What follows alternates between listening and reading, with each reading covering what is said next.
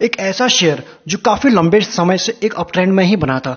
जब उसमें value buying थी, यानी 2020 में, तब बड़े इन्वेस्टर ने उसमें अच्छा शेयर समझ के, या फिर अच्छा शेयर वो था नहीं था, वो तो हम ज़रूर देखेंगे इस वीडियो में, उसमें कुछ इन्वेस्ट किया। उसके बाद वो कंटिन्यूसली अपने अप ट्रेंड में ही बना रहा। उसके बाद जैसे जैसे वो रिटेल इन्वेस्टर की नज़र में आया कि वो बढ़ने लग गया, फिर रिटेल इन्वेस्टर को चेज करने लगा। अगले दिन देखता फिर बढ़ रहा है दो परसेंट, अगले दिन फिर दो परसेंट, और धीरे छोटे मोटे करेक्शन के बाद हमेशा ही एक अपने अप ट्रेंड में बना रहता है। इस चक्कर में रिटेल इन्वेस्टर को लगता है सबका प्रॉफिट हो चुका है, मुझसे ही कुछ छूट गया है तो हम लोग उसको चेज करना शुरू कर देते हैं। और जैसे जैसे चेज करते करते एक दिन ऐसा आता है, जिस बड़े प्लेयर ने, जिस स्मार्ट मनी ने 2020 में उसमें इन्वेस्ट किया था 21 में, एक अच्छे प्रॉफिट पे कुछ अपने होल्डिंग को बल्क डील के थ्रू बेच देता है। अब जैसे ही वो बेचता है, उस रिटेल इन्वेस्टर को वहाँ से लगता है, अरे, ये क्या हुआ? मेरे साथ तो कुछ गल, गलत हो गया। यहाँ पे कुछ हम, हमें ट्रैप किया गया। ऑपरेटर का गेम शुरू हो चुका है। सेबी को कुछ ध्यान देना चाहिए या फिर कुछ इस तरह से बातें। लेकिन मुझे क्या कहना है पहले या ये आप समझ लीजिए। यहाँ पे हम मार्केट में क्यों हैं? हम इन्वेस्ट करते हैं क्योंकि हमें प्रॉफिट हो। उसी तरह से जब बड़े प्लेयर या फिर स्मार्ट मनी मार्केट में आती है, वो भी बड़ा पैसा लेके आती है और मार्केट में इन्वेस्ट करती है और इसी चीज़ की वजह से कि हमें प्रॉफिट हो। तो इसमें गलत कुछ नहीं है। हमसे गलती बस इतनी हो जाती है कि हम बस चेज करते हैं इस चक्कर में कि इसका प्रॉफिट हो गया, सबका प्रॉफिट हो गया, हमसे रह गया। तो कभी भी चेज जब है, जब भी हम करते हैं, या तो हमें अपने स्टॉप लॉस या फिर अपने रूल्स को फॉलो करना चाहिए। अदरवाइज़ किसी भी मेरी जो एडवाइस रहती है हमेशा, अगर कोई कितना भी अच्छा शेयर क्यों ना आपका फेवरेट क्यों ना हो, अगर आपसे छूट गया है चेज नहीं करना चाहिए, अच्छे अपॉर्चुनिटी का, या फिर डिप पे, या फिर ब्रेकआउट पे, या फिर अच्छे रूल या फिर अपने जो भी रिस्क एंड रिवॉर्ड को बिल्कुल मेंटेन करके ही हमें उसमें एंट्री और एग्जिट करना चाहिए। अदरवाइज़ हमें ऐसा फील भागते वक्त लेफ़्ट आउट फील होगा, और जब गिर रहा होगा तो हमें ट्रैप फील होगा। तो इसी चीज़ को देखने के लिए आज के इस वीडियो में हम काफ़ी इंपॉर्टेंट है, कुछ सीखेंगे भी और शेयर को भी डिस्कस करेंगे। सबसे पहले एक बार उस कंपनी का से कितनी स्ट्रांग है, आपके सामने आरओसी लगा है यानी छोटी मोटी कंपनी ने जैसी तैसी कंपनी का आर मुश्किल से 20 भी नहीं होता और इस कंपनी का एक लंबे टाइम से आप यहाँ देख सकते हो 2012 से लेकर 2021 तक, यानी अच्छे लॉन्ग टाइम फ्रेम में। इसने अपने आर का 53 से लेकर 60 का, यानी कंटिन्यूसली बढ़ता जा रहा है। बीच बीच में छोटे मोटे डिप आ रहे हैं, लेकिन अच्छा खासा अपने को मेंटेन कर रखा है। इस तरह से कंपनी की जो स्ट्रेंथ है, यहाँ पे क्लियरली बताता है। इसीलिए कंपनी आज के दिन मोनोपली है और इसीलिए इसके आप समझ सकते हो, इतने अच्छे इसके फाइनेंशियल है। ये तो सिर्फ़ एक रेशियो है। बाकी चीज़ें हम देखें, सबसे पहले एक बार क्वार्टरली रिज़ल्ट पे नज़र डाल लेते हैं। किस तरह से इस बार क्वार्टरली रिज़ल्ट रहे? आप यहाँ देखोगे नेट सेल के ऊपर, यानी कि इसमें 35 परसेंट की जंप आई है, जो एक अच्छी बात होती है हम सभी के लिए। क्वार्टरली नेट प्रॉफिट की अगर बात करें, यानी मार्च ट्वेंटी से लेकर और अभी तक मार्च ट्वेंटी तक, आप वहाँ देखोगे थर्टी परसेंट की जंप आई है net net quarterly net profit में। उसके ईबिडा की बात करें, यहाँ पर भी आपको जंप नज़र आ रही है। ईपीएस भी आपको यहाँ पर वन से टू आए तो यहाँ पर नंबर्स हमें चीज़ें अच्छी लग रही है।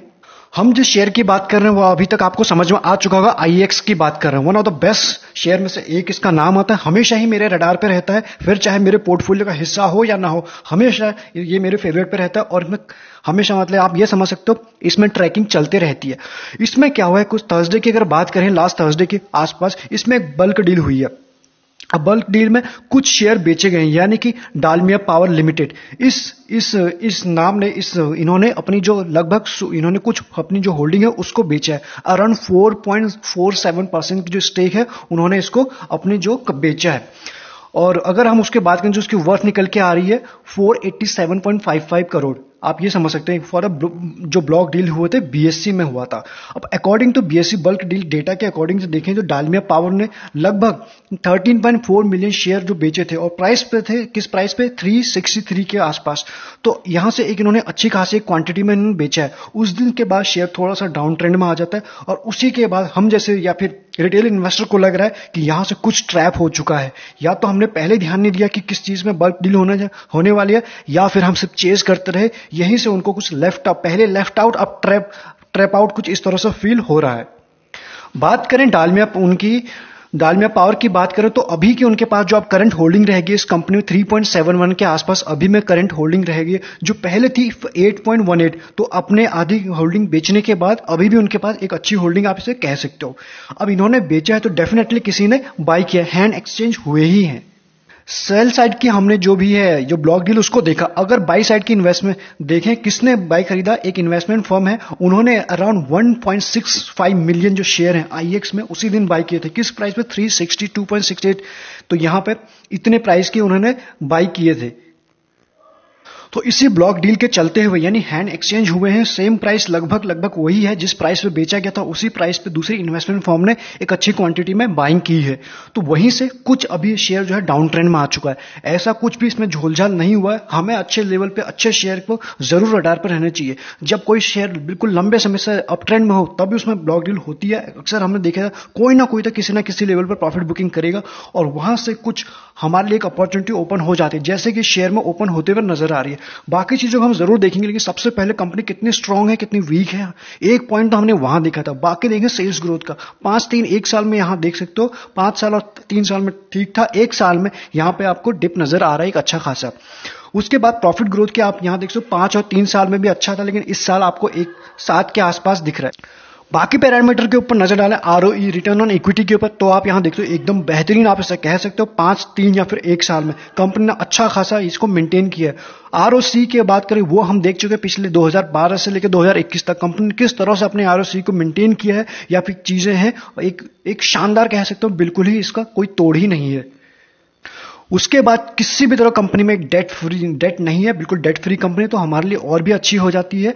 और वहीं क्या कोई प्लेज है, बिल्कुल भी नहीं है। आप यहाँ देखेगा किसी तरह का प्लेज नहीं है। उसके बाद हमारे लिए होता है होल्डिंग यानी शेयर होल्डिंग पैटर्न मेजोरिटी जितने भी शेयर हैं 36 percent eight one thirty percent जो है एफआईएस के पास, वहीं डी के पास देखें 27 के पास है। यानी कि अगर मेजोरिटी शेयर देखा जाए तो स्मार्ट मनी के पास है। बाकी पब्लिक का भी इसमें इंटरेस्ट काफ़ी बना हुआ है थर्टी के आसपास ही है। और बाकी यहाँ प्रोमोटर के पास इसमें कुछ भी नहीं है, आपको ज़ीरो दिखाई दे रहा है। ओवरऑल अगर शेयर होल्डिंग पैटर्न तो हमने देख लिया, लेकिन करंट की अगर बात करें, या फिर इस किस तरह से इसमें अभी तक का पूरे पिक्चर रहा, अभी आप देख सकते हो 2018 से लेकर अभी तक का 2021 तक का, किसमें क्या था, आप यहाँ देख पाओ एफ़ के पास एक 2018 में इस कंपनी में तेरह थे, और ये चीज़ें होती होती आज के दिन थर्टी हो चुका है, यानी कि अच्छा खासा मल्टीप्लाई हो चुका है। उन्हें पता है कि इस कंपनी की ताकत कितनी एक मोनोपली शेयर है तो किस तरह से मैं आगे भी इसमें इसी तरह के रिटर्न या फिर इसी तरह के अप ट्रेंड में रहने की पूरी पूरी इसमें एक्सपेक्टेशन है। डीआईएस की बात करें थर्टी के आसपास उनके पास था दो में और अभी भी 27 के आसपास है। यानी कि इससे पहले दिसंबर तक था, आप यहाँ देख पाओगे 36 के आसपास ही था। यानी जरा सी इस क्वार्टर में उन्होंने अपनी होल्डिंग को कम किया है, कुछ हमने भी देखा, बाकी चीज़ें इतना तो एक्सपेक्टेड है कि थोड़ी मोड़ी प्रॉफिट बुकिंग तो हर लेवल पे आता ही है। बाकी पब्लिक के पास 52 से, आप देख सकते हो 34 यानी पब्लिक भी पब्लिक का भी अच्छा खासा इंटरेस्ट इसमें बना ही है। हमने देखा है 27.91 परसेंट के जो होल्डिंग है वो डीआईएस के पास है। कौन से वो डीआईएस कौन सा म्यूचुअल फंड है? अगर हम उनको देखने की कोशिश करें तो आप देख सकते हो पराग पारिक, इसमें उनका इन्वेस्टमेंट है। Edelweiss small cap fund direct growth उनका इन्वेस्टमेंट है। एंड उसका बड़ौदा मल्टी कैप में है। मिरई एसेट का है। यूटीआई का है। एंड मिरई एसेट का मिरई ग्रुप के दो दो दो म्यूचुअल फंड के इस कंपनी में इन्वेस्टमेंट है। तो इस तरह से हमें ब्रॉडर वे में समझ में आ रहा है कौन सी मनी किधर जा रही है। इन सब के बाद अगर प्रॉफिट ग्रोथ पे एक नज़र डालें तो आप देखते हो वाई ओ वाई बेसिस पे, यानी साल साल बेसिस पे प्रॉफिट आप यहाँ देखोगे सत्रह से लेकर इक्कीस के बीच में। आपको ये ग्राफ ऊपर बढ़ते हुए जा रहा था। जानकारों की माने तो इस वक्त 62 परसेंट ऊपर जो है एनालिस्ट इस वक्त इस शेयर के ऊपर बुलिश है, लेकिन आपको क्या करना है? आपको अच्छे से अपनी रिसर्च करनी है और उसके बाद ही कोई डिसीज़न लेना है। अब एक नज़र अगर यहाँ डालें कि किस तरह से इस कंपनी ने अपने शेयर होल्डर को रिटर्न बना के दिया आप यहाँ देखो, तीन साल में आपने पैसे को बिल्कुल दुगना कर दिया है, दो साल में भी दुगना किया है एंड एक साल में भी दुगना। यानी कि एक लाख को दो लाख इजिली आराम से बना चुका है। अभी यहाँ देखो, छह छह महीने में भी अच्छे रिटर्न तीन महीने में। यहाँ पर जो हमें प्रॉफिट बुकिंग दिख रही है, कुछ यही हुई है, एक महीने में और वन वीक में। वाईटीडी की बात करें, यहाँ भी कंपनी ने अच्छा ही परफॉर्म किया यानी कि जितने भी लंबे टाइम फ्रेम आप देख सकते हो अच्छा परफॉर्म किया, बस शॉर्ट टर्म में हमें हिकअप है। यानी कि हमें कुछ मौके दे रहा है। आज के दिन जिस जिस दिन ये वीडियो बना रहे हैं, अभी भी आप देख सकते हो 2.82 के आसपास ये डाउन है। तो हमारे लिए एक अपॉर्चुनिटी धीरे धीरे आते हुए नज़र आ रही है। किस तरह से उससे पहले एक बार वैल्यूएशन के ऊपर नज़र डाले तो आप यहाँ देखोगे इंडस्ट्री पी है 45 और ये आपको 48 यानी फेयरली रीजनेबल मिल रहा है, जिस हिसाब से शेयर है। वहीं बात करें डिलीवरी की 38 परसेंट की डिलीवरी इसमें हुई है आज के दिन में और ईपीएस का सेवन का है। डिविडेंड डील्स की कोई खास अच्छी है नहीं है नहीं ज़ीरो है। इन सब के बाद अब हम देखते हैं एक नज़र इसके चार्ट के ऊपर। अब आपके सामने आईईएक्स e का, यानी कि वन वीक का चार्ट ओपन हो चुका है, प्लस बॉलेंजर बैंड के साथ क्या कि आपको कुछ चीज़ें बताने ज़रूरी थी इसमें। किस तरह से इसमें मे पिछले मे देख सकते हो और अभी का मे आ चुका है, यानी एक साल का डेटा आपके सामने यहाँ पे प्रेजेंट है। ये आप देख सकते हो, ये मे से ये मे का। तो इसीलिए एक अच्छे खासे कंसल्टेशन फ़ेज़ पर रहा। बॉलिंजर बैंड की अगर जो लोग इसको अच्छे से समझते तो वो समझ पा रहे हो कि जब भी इसमें स्क्यूज होता है, जब भी ये बिल्कुल, आप समझ नैरो इसकी रेंज काफ़ी छोटी हो जाती है तो इसमें एक चांस एक चांस हो जाता है कि किसी भी जिस भी तरफ़ को होगा, एक बड़ा मूव आ सकता है। ये वीकली टाइम फ्रेम पर इसमें जैसे ही इसने अपने ये ब्रेकआउट किया था इस बॉक्स को और उसके बाद किस तरह से आपको इसमें एक मूव देखा गया ये हर टाइम फ्रेम में होता है, पाँच मिनट में भी, दस मिनट में भी वन डे में वन वीक में भी। जब भी इसमें स्क्वीज होता है या फिर एक बहुत ही छोटे नैरो रेंज एक किसी तरफ़ कोई बड़े बड़े मूव की चांसेस बनती है। वो अप ट्रेंड को भी हो सकता है डाउन ट्रेंड को भी हो सकता है। तो इसी तरह से कुछ इसमें बनते हुए नज़र आया है। अब यहाँ देखो किस तरह से पिछले मई से लेकर अभी तक इसमें एक प्रॉफिट एक रैली आई है, अच्छी खासी रैली आई है। यानी हमने देखा कि पैसा को ऑलमोस्ट पूरा दुगना कर चुका है साल में। अब यहाँ से जिन लोग, जिन इन्वेस्टर ने डेफिनेटली यहाँ मार्च वार्च में लिया था, ये समहाव यहाँ मार्च में पिछले डेफिनेटली यहाँ पे कुछ प्रॉफिट बुकिंग तो आएगी ही आएगी। अब ऐसे में आएगी तो यही बल्क डील बल्क डील के थ्रू ब्लॉक डील के थ्रू ही होगी वो। तो वैसे ही हमने कुछ होता हुआ, और ये वॉल्यूम आपको बता रहा कि उस दिन ये ये चीज़ हुई थी जो हमने अभी देखा था, डालमिया भारत वाली स्टोरी अब यहाँ से क्या हो सकता है? अभी कुछ टाइम ये हो सकता है, पिछले तीन वीक से लगातार ये प्रॉफिट बुकिंग चल रही, तीन रेड कैंडल यहाँ से बन चुकी है। अभी इसमें जो मेजर जो सबसे पहला सपोर्ट निकल के आ रहा है यहाँ से, जहाँ तक ये शेयर जा सकता है 322 के आसपास 320 के अराउंड यानी जो इसका निकल के आएगा वीकली पे। जो इसका अगर देखा जाए तो वीकली पे जो इसका ये वीकली का मंथली मूविंग एवरेज है, यहाँ पे हमारे लिए इंपॉर्टेंट होगा। लेकिन इस चीज़ को अच्छे से समझने के लिए हम चलते हैं वनडे के उस पर अब यहाँ देख पाएँगे अच्छे से। यहाँ से ब्लॉक डील ब्लॉक डील हुई थी, यहाँ पर और उसके बाद धीरे धीरे करके शेयर उस दिन गैप डाउन भी होता, पाँच परसेंट नीचे खुला था और उसके बाद धीरे धीरे नीचे। तो ऐसे में हमारे लिए इंपॉर्टेंट ये हो जाता है कि अच्छे शेयर को अच्छा अच्छा शेयर तो हमने देख लिया, लेकिन अच्छे प्राइस भी इंपॉर्टेंट है। कोई भी शेयर तभी अच्छा है जब उसको अच्छे अच्छे लेवल पे बाई किया गया है और अच्छे लेवल पे एग्जिट भी किया गया हो। तभी वो अच्छा ट्रेड हो सकता है। अदरवाइज़ अच्छे ट्रेड में हम इसके टॉप पे ले लें, अगर छह या सात महीने तक उसमें फंसे रहे तो हम लोग डेफिनेटली उस कंपनी को बुरा ही बोलेंगे। अब ऐसे में इसका जो सपोर्ट निकल के आ रहा है, आप यहाँ देख पाओगे। सबसे पहले इस इस रेंज के आसपास सपोर्ट निकल के आ रहा है इसका। जो सम हाउ वही जो 320 के आसपास है, उस लेवल के ऊपर हमें नज़र रखनी चाहिए, क्या वहाँ सस्टेन कर, या फिर सस्टेन नहीं, जो वहाँ सपोर्ट लेता है, एक दो दिन, ऐसे नहीं, पहले ही दिन देखना देखना ज़रूरी बनता है, क्योंकि इसमें ब्लॉक डील हुई है, कुछ प्रॉफिट बुकिंग इसमें बनता है इतने अच्छे रेंज के बाद। या फिर दूसरा जो हमारे लिए इंपॉर्टेंट इसका रेंज जो निकल के आएगा, वो ये लेवल होगा।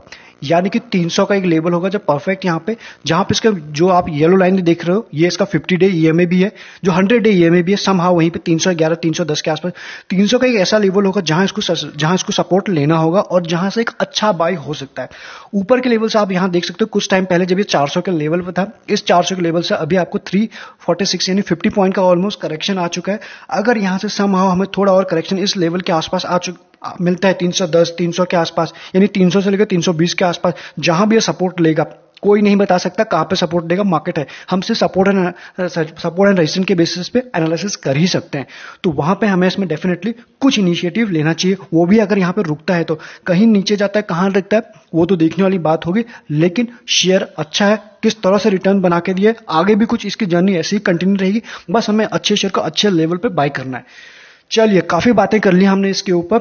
अगर आपके पास डीमेट अकाउंट नहीं है डिस्क्रिप्शन में लिंक है, आप अकाउंट ओपन करा सकते हैं। डायरेक्टली हमारे साथ प्राइवेट चैनल पर भी जुड़ सकते हैं, जहाँ हम कुछ एक्स्ट्रा सिखाने की प्लस अपने पर्सनल ट्रिक कुछ लॉजिकल वे में भी बताने की कोशिश करते हैं कि ऐसा क्यों और कब क्यों हुआ।